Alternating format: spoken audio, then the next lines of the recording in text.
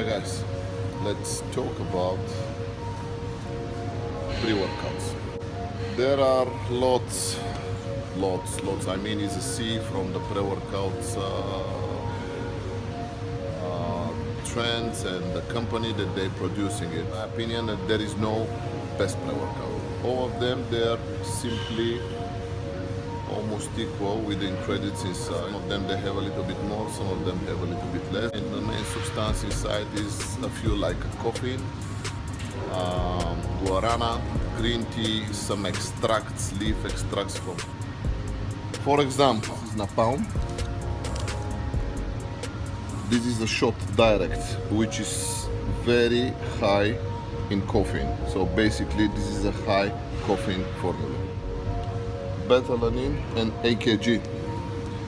This is both. You can make a combination together if you want to have a really good kind of uh, pre-workout. Like you can have a one scoop from this and one scoop of AKG. These both work as a stack, which is perfect. On edge from BSN.